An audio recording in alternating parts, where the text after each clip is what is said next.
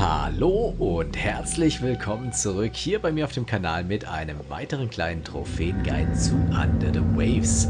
Heute zur Trophäe eine Dose Würmer und dafür müssen wir an diese Stelle hier geraten. Das ist mitten in der Hauptstory an Tag 15. Nachdem wir an Tag 14 die Raffinerie zerstört haben, sind wir in der Nacht diesen, sage ich mal, Würmern oder auch ähm, Egeln hier schon mal begegnet. Und jetzt an Tag 15 sind wir in der Drohnen, äh, ja ich weiß nicht, Fabrik oder zumindest Wartung und sollen hier nach dem Rechten schauen, denn einige Drohnen scheinen kaputt gegangen zu sein. Und ihr seht auch hier, was womöglich der Grund ist. Und jetzt gilt es hier dran vorbeizukommen oder hindurch, da hilft eine Fackel. Aber für die Trophäe eine Dose voll Würmer oder eine Dose Würmer wollen wir das Ganze eben jetzt an der Stelle nicht tun, sondern wir gehen mitten rein. Und ihr seht jetzt gerade, mein Sauerstoff ist hier ähm, niedrig. Ich nehme deswegen jetzt noch welchen, aber ähm, tatsächlich ist es so, dass wenn ihr hier reingeht, die euren Sauerstoff und damit auch euer Leben, sage ich mal,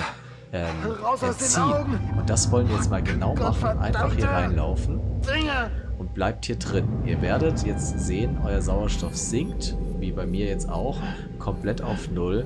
Und was passiert? Ja, ihr sterbt tatsächlich und das triggert die Trophäe eine Dose Würmer. Ihr seht es bei mir auch aufpoppen und ihr macht jetzt einfach genau am letzten Speicherpunkt weiter. Aber einmal hier in den Würmern sterben müsst ihr, um die Trophäe eine Dose Würmer zu triggern. Das war's schon und wie immer, wenn euch das Video gefallen hat, lasst gerne ein Like da, Abo für den Kanal und dann sehen wir uns hier ganz bald wieder. Bis dahin und tschüss.